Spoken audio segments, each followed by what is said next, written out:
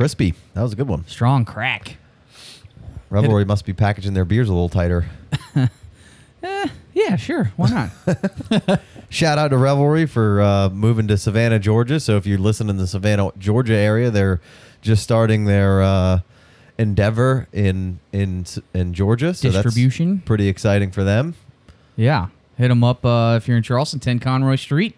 Hit up the Hold, new barrel aged sour specialty beer place called the Hold. It's a lot of specialty beers if you're that kind of connoisseur. Woodworking by your boy. If you're interested in Yeah. something, go over there. This is Holler true. at me.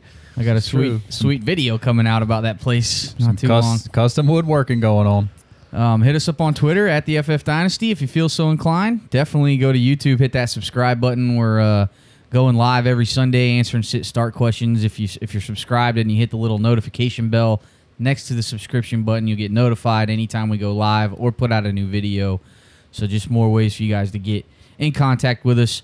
Um, we're gonna finish up the rest of this free show here. We're gonna get into some uh, some question marks about guys that have been out out for a little while and are coming back. So we're gonna we're gonna delve into some of that.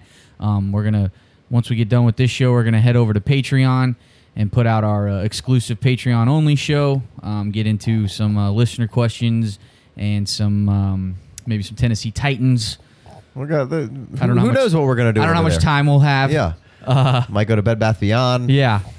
Um, but knows? definitely, if you guys aren't a, a Patreon, Cash uh, in some gift cards. you can you can find a link from our website, theffdynasty.com, or you can go straight over to patreon.com slash theffdynasty. Um, it's a five dollar holla, so five bucks a month, less Yeah. than a coffee that you probably get every single day.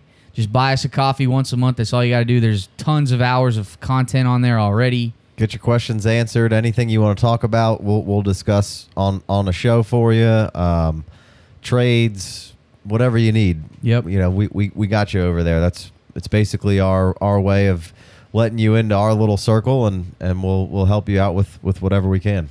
Right, because you just sometimes you need somebody to talk something over with, and we want to be that that ear for you and help you out with your with your teams and and your squads, kind of like we tried to do here on this free show. Well, let's get into it. Enough talk, enough chit chat.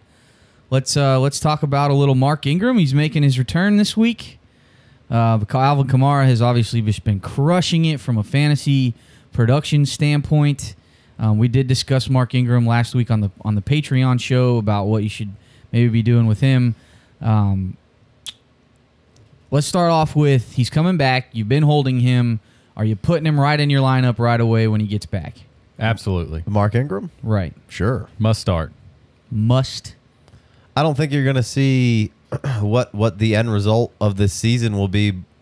The first week he's back, like I don't, I'm not sure you're going to see. I, I think you're going to see a good amount of carries in Mark Ingram's uh, under Mark Ingram's belt by the time the season uh, rolls forward. I'm I'm I'm going to say 10, 12. You'll see in this first game back with with a couple of Couple catches, catches. in there. So I don't see any reason. I mean, Kamara's been awesome. There's Right. nothing short of he has been absolutely ridiculous. You can thank him later for everything he's done for you this year if you have him. Um, you know, I I was concerned coming into this season about what he was going to do and if it was sustainable and the pace he's on right now is probably not sustainable. And then you get Mark Ingram coming back and maybe you see a, a slight dip in, in what Kamara's been doing but he's so efficient with his touches and, and what he does through the air is really is is the special part about what Mark Ingram or uh, Alvin Kamara is giving you Yeah. week in week out. I mean, he's it's it's almost it's it's unfair. He's catching the ball with with so much space in front of him, and, and then he's already a guy who's very hard to bring down. Yeah. Um, it's it's It's, it's, just Saints, a really. Saints backfield X's and O's. But uh, what the thing that I thought,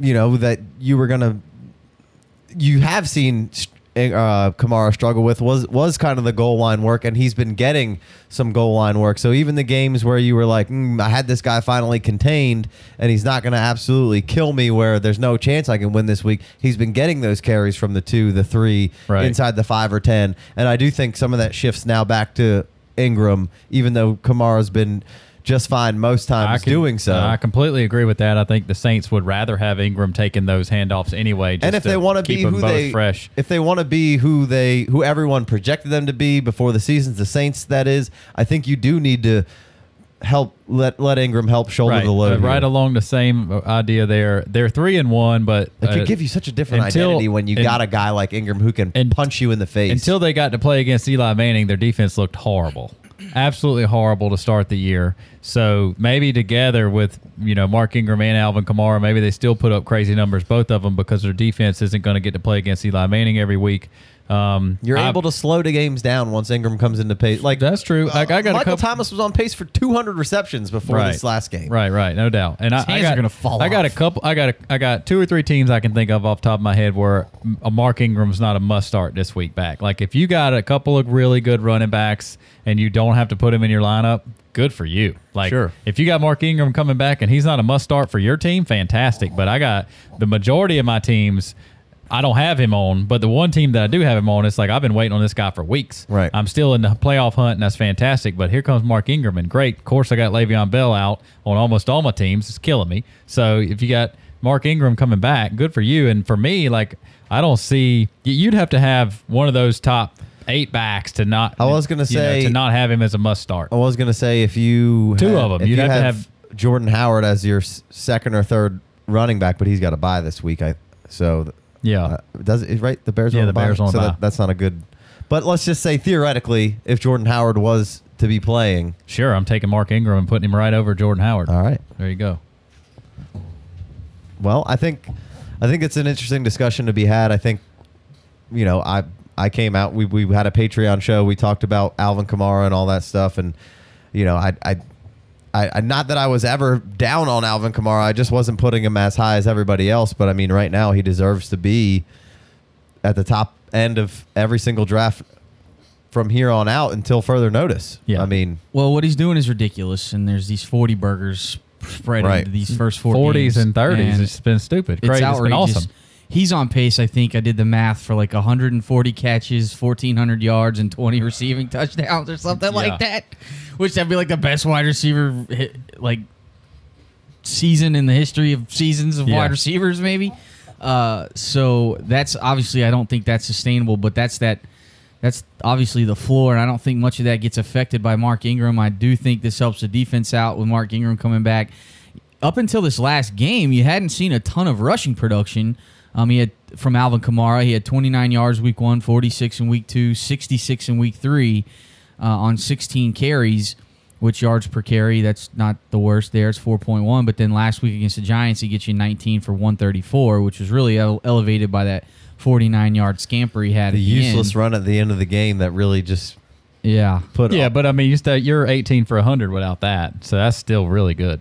Well, you're 18 for you know 130 minus 50, so it's 80. Oh, you just said I thought you said 118, 19 for 140 something. 134. Okay, so yeah, 84. Um, 84 and then minus a touchdown. Right. minus a touchdown. Yep. So that was a That's a that huge was play. Yeah, that's still a, having a good Eleven That's a slap point in the face there. to anybody you're playing. Yeah. He went Oh. from 34 to 45 points or something like that, Yeah. or, 29 to 41 or something, uh, which is pretty crazy. But I, I- I think I'm excited about having Mark Ingram come back. I'm 0 and 4 in one league in a dynasty league with Mark Ingram, and I mean I'm only two games out of the playoff race right now. Everybody that's in that fifth and sixth spot is two and two. That's right. That's that's know? a good point, Jay Wayne. When you're when you what, what depending on what your team looks like right now for your for the playoffs, you don't have to look at that top two and three teams. You got to be looking at that last one or two teams in the playoffs. And really, if you're if you've gotten lucky or unlucky, and you're sitting down there, and Casey and I, we got one team in the FFPC where we got the best roster in the league, and this week was our first win. We're one and three. Barely got any victory points in the FFPC, and we we're not chasing those top teams. We're chasing that last team in the playoffs, mm-hmm. and that's that's what you're looking for when you're deciding whether your team your year is shot or not. you're not. you there's no catching the four zero oh team if you're zero and four. You don't have to. Right. Just catch that last team and sneak in, and then just disrupt. Just Right. if you if you got a good solid team, go in there and, and make some hay. Yeah. I don't know what to do. I don't know. What I kind of want to ship him out. I kind of want to keep him. I don't know what to do. But you're plugging him this week. Who's next? I got to plug him in this week for sure in that league.